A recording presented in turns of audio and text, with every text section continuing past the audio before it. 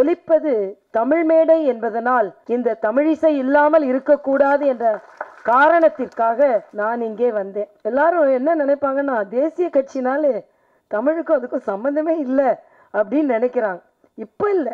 நான் ஐம்பது வயதை தாண்டி இருக்கிறேன். படிக்கும் பொழுது இரண்டாவது மூன்றாவது படிக்கும் பொழுது உங்க பேர் என்னன்னு கேட்பாங்க பள்ளியில. என் பேர் தமிழ் இசை அப்படின்னு சொன்ன உடனேயே உங்க அப்பா திமுகவான்னு கேட்பாங்க. அறுபத்தி ஏழுகளில் அப்படிதான். ஆனா ஏன் காங்கிரஸ்காரங்களா இருந்தா தமிழை பற்றி சிந்திக்கவே மாட்டார்களா? தேசிய கட்சியாக இருந்தால் தமிழை பற்றி சிந்திக்க மாட்டார்களா என்று அறுபத்தி ஏழில் இருந்த அந்த எண்ணம் ரெண்டாயிரத்தி பதினெட்டிலும் மறையவில்லை என்பதை தமிழன் ராகுல் காந்தி நான் வந்தவுடனே நிறைவுபடுத்தினேன் தேசிய கட்சி என்றால் ஏதோ தமிழுக்கும் அதற்கும் சம்பந்தம் இல்லை. வடமொழியை இறக்கிறதுக்காக தான் அவங்க வந்து கொண்டிருக்கிறார்கள் என்றில்லை. வடமொழியை இறக்குவதாக இருந்தால் தமிழிசை பாரதிய ஜனதா கட்சியின் தமிழக தலைவராகி இருக்க மாட்டேன்.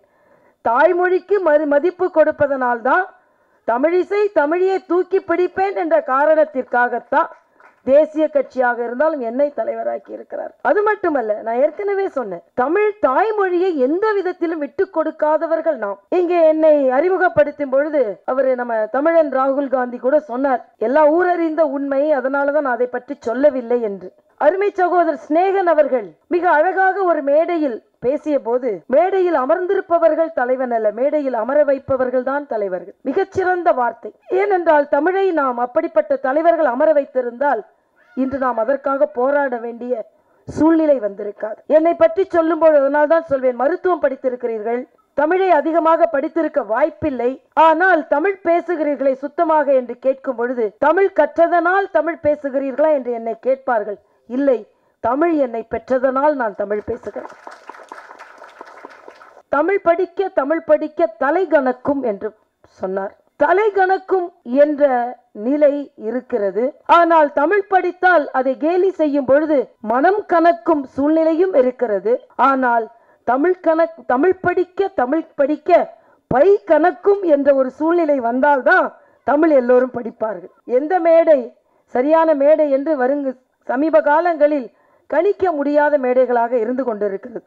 சகோதரர் சிநேகன் அவர்கள் மிகச் சிறப்பாக சொன்னதைப் போல தமிழை கையாளும் பொழுது நமக்கு வழி பிறக்கும். அந்த வழி பிறக்க வேண்டும் என்பதற்காகத்தான் இந்த மேடையில் என்னை அழைத்த பொழுது நான் இங்கே வர வேண்டும் என்று வந்தேன். நிச்சயமாக தமிழகத்தில் தமிழை ஓங்கி பிடிப்பதில் நாங்கள் எந்த விதத்திலும் குறைந்தவர்கள் அல்ல. அது மட்டுமல்ல எதையும் திணிக்க கூடாது என்பதில் குறியாக இருப்பவர்களும் நாங்கள் என்பதை இங்கே தெளிவாக இந்த மேடையில் நான் சொல்லிக் கொள்கிறேன். ஏனென்றால் ஒரு தவறான கருத்து இருக்கிறது. தேசிய கட்சி என்றால் வடமொழியை வந்து திணித்து விடுவார்கள் என்று இல்லை. தேசிய கட்சியாக இருந்தாலும் அது தமிழை நம் தமிழ் மொழியை ஓங்கி பிடிப்பதில் எந்த விதத்திலும் எங்கள் கட்சிக்கு மாற்று கருத்து கிடையாது என்பதை இந்த மேடையில் நான் பதிவு செய்கிறேன். இன்னைக்கு நாம சொல்றோம் நாடாளுமன்றத்தில் தமிழ் இருக்க வேண்டும் என்பதில் எந்த மாற்று கருத்தும் இல்லை. ஆனால் வீடாளுமன்றத்தில் முதலில் தமிழ் ஆரம்பிக்கப்பட வேண்டும் என்பதை நாம் புரிந்து கொள்ள வேண்டும். டாடி மம்மி அம்மா அப்பாவாக மாற வேண்டும் என்பது நம் முழுமுதற் கருத்தாக இருக்கும். எல்லோரும் அது மட்டும் நம்ம இதில் இல்லை. இன்னைக்கு டேடி மம்மி தான் குழந்தைங்க கூப்பிட்றோம் எங்கள் வீட்டிலலாம் கிடையாது. எங்கள் வீட்டில் அம்மா அப்பா தான். அது மட்டும் இல்லை எல்லாரும் தமிழை முதல் மொழியாக படித்திருக்கிறோம். அது மட்டுமல்ல மேடையில் அமர்ந்திருப்பவர்கள் எல்லாம் தமிழை மிகச் சிறப்பாக கையாள்பவர்கள். அவர்களுக்கு எனது வணக்கம். நீங்கள் தமிழை கையாள்கிறீர்கள். ஆனால் எங்களை போன்றவர்கள் வந்தாலும் தமிழை ஆழச் செய்வோம் என்பதையும் இந்த மேடையில் நான் தெளிவாகவே குறிப்பிடுகிறேன். தமிழை எந்த விதத்திலும் நாங்கள் விட்டு கொடுக்க மாட்டோம். விட்டு கொடுக்க சொல்லியும் யாரும் சொல்லவில்லை. தமிழை உயர்த்தி பிடிப்பதில் மட்டுமே எங்களது இயக்கமும் சிறப்பாக செயலாற்றிக் கொண்டிருக்கிறது என்று சொல்லி நான் ஏற்கனவே சொன்னதைப் போல நாடாளுமன்றத்தில் தமிழ் ஆழ வேண்டும். அதற்கு முன்னால் நம் வீடாளுமன்றங்களிலும் அம்மா அப்பாவிலிருந்து ஆரம்பிக்க வேண்டும். அதை ஒரு முதல் கொள்கையாகவே நாம் கொள்ள வேண்டும் என்று சொல்லி பல தடங்கல்கள் வரலாம். இளைஞர்கள் அழகாக பாட்டை எழுதியிருக்கிறார்கள். பல தடங்கல்கள் வரலாம். ஆனா எத்தனை தடங்கல்கள் வந்தாலும் இத்தகைய பிரச்சனைகளை சந்தித்தாலும் தமிழை முன்னெடுத்துச் செல்வதில் எந்த விதத்திலும் நான் சோர்ந்து போய்விட மாட்டேன் என்பது. பல மேடைகளில் நான் எப்பொழுதுமே ஒரு கவிதையை வைத்து நிறைவு செய்வேன். அது மரியாதைக்குரிய கவிக்கோ அப்துல் அவர்களின் கவிதை வேலிக்கு வெளியே தலையை நீட்டும் எனது கிளைகளை வெட்டும் தோட்டக்காரனே. எந்த துறையாக இருந்தாலும் அதில் போட்டி வரும் பிரச்சனைகள் வரும் கிளைகள் வெட்டப்படும். ஒரு வேலியை தாண்டி ஒரு கிளை தாண்டும் பொழுது அது வெட்டப்படும். ஆனால் அவர் பாடுகிறார் இது எனக்கும் பல நாட்கள் பல அரசியலில் பல சவால்களை சந்திக்கும் பொழுதும் மருத்துவத்துறையில் பல சந் சவால்களை சந்திக்கும் பொழுதும் இந்த கவிதை எனக்கு பலமாகவே இருந்திருக்கிறது.